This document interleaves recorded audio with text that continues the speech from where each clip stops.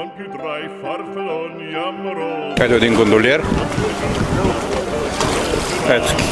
Венеция, красивите гондоли, за съжаление, прибрани с зимата, падна се лошо време. И така намирам се на място, до което трябва да се посети, когато дойде в Венеция. Венеция, в Венеция грешка. Палата на дожите срещу мен. Това е и музей. Това е било палатите, в които са били стопаните на владетелите на Венеция. Току-що излезах от него. Не може да си тук да не видиш а, палата на дожите.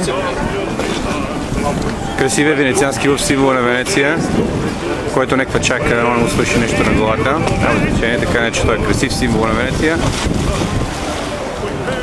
Красивата камбанария Сан Марко. Не можах да се кача на нея. Виж, човек не може да отиде да види всичко. Отгоре е прекрасен, страшен вил, прекрасен изглед надолу към града, нека остане нещо и за другото си в Венеция. Централният площад. Се намирам в дъното е Свети Марко Базиликата, поредния, поредния гондолиер, който спасарява стоката.